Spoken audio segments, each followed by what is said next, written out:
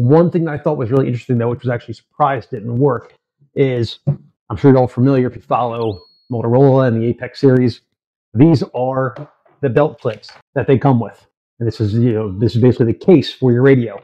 So you take your radio, this will be on your belt. You can drop that in just like that. They hold them secure. It still gives you access to any of the buttons that you would need to get to.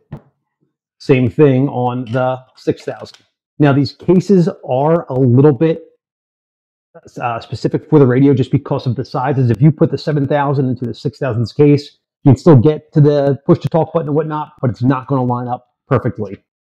I thought it was really interesting. The belt case that the Baofeng UV32 comes with is absolutely hideous. It is a vinyl, you know, nylon, just horrendous excuse for some sort of belt attachment.